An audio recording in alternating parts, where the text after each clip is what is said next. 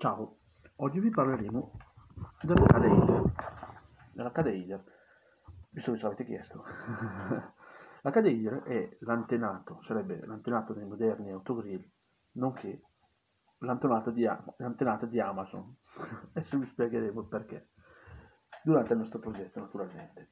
L'Arcade Hider è, un, è una casa che trovate in località La Grotta a Idro, un grandissimo casamento giallo a cercare sulle difese del lago d'Idro, troverete la foto, troverete la scalia di questa casa.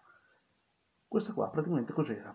Era già attiva nel 1500 ed era praticamente un posto funzionale, come dicevo prima, come moderno autogrill. Perché?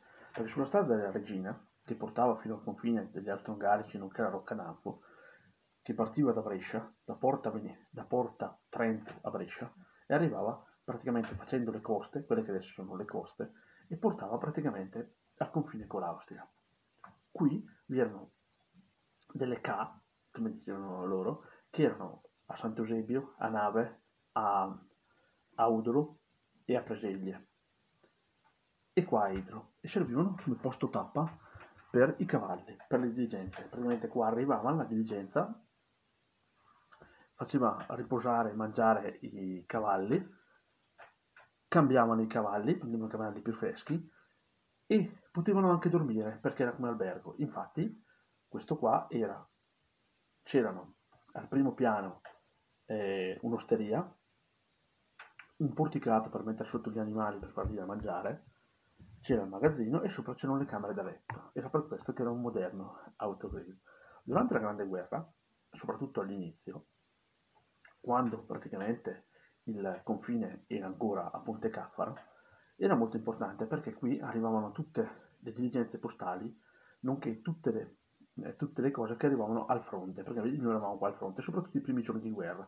Qui vi si stanziarono dentro degli, degli ufficiali che praticamente era un posto di smistamento poste, praticamente erano le, mode- erano le poste del fronte qua dentro. Vi erano due ufficiali addetti a questo e vi erano anche le camere da letto sopra che erano per gli ufficiali.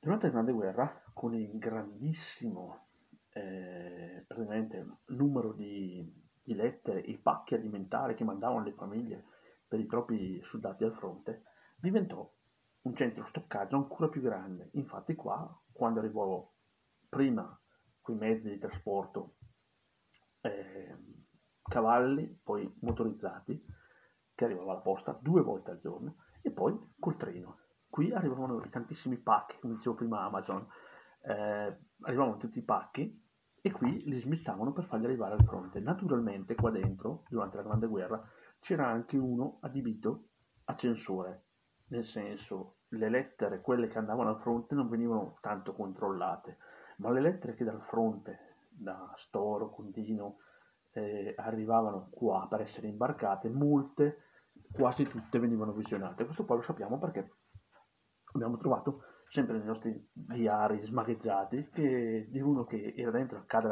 Cade Deider, che praticamente faceva, era adibito a questo. Qui dentro c'era anche un'osteria, un'osteria che rimase aperta anche durante la grande, che rimane aperta anche durante la Grande Guerra. Infatti nei magazzini sopra le camere rimane questo centro di osteria. Qui vi passarono molti eh, giornalisti che volevano andare al fronte, che volevano andare al fronte per prendere le notizie, perché bisogna pensare che tutti i civili venivano fermati in località di Vestone e praticamente dalla zona di Vestone fino ad arrivare a Caffaro a inizio guerra era praticamente una zona una zona non fly zone, praticamente era una zona di nessuno. E non vengono mai, non viene mai, non si dice, non vengono mai spostati civili, perché con l'inizio della guerra subito il fronte si è spostato molto più avanti, però è rimasta una zona non fly zone. Infatti qui i, riuscivano a imboscarsi i giornalisti e venivano qua o, al, o a, qua per sapere le notizie quelle più degli ufficiali, robe varie, se no andavano all'osteria Vaticano per sapere le notizie più, più come si dice, più da contrabbandieri o, o, robe varie. Da ricordare anche la Cadeida, che qui si fermò anche il, il colonnello Corridori prima di andare sul, prima di andare sul Monte Palone e morire insieme al sottintendente per, per un colpo di granata. Il primo giorno di guerra, infatti, era alla, alla Venone, poi si fermò qua e poi proseguì l'avanzata con la sua 61esima fanteria e trovò la morte poco dopo sul Monte Pallone.